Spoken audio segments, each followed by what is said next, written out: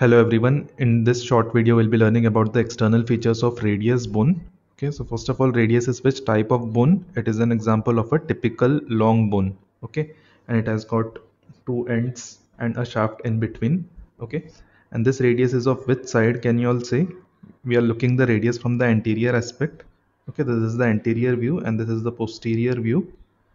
Okay, this radius is of right side. Why it is of right side?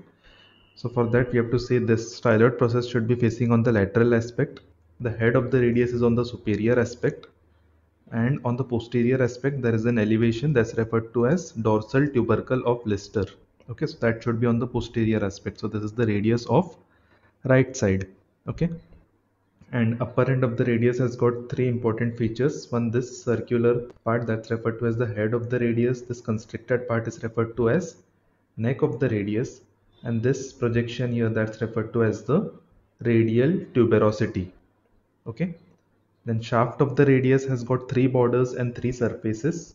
Out of which one border would be very prominent. This border is referred to as the interosseous border. Okay?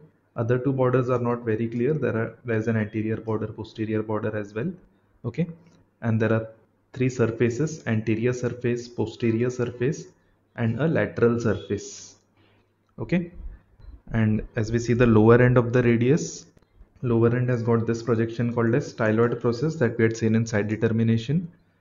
And there is an anterior smooth surface. Posteriorly there is a elevation that's referred to as dorsal tubercle of Lister. Very important for uh, determining the side of radius. Okay? And there is a surface on the inferior aspect.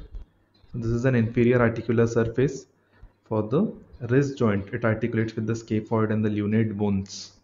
So this was about the external features of the radius bone. And uh, which joints are formed by this bone?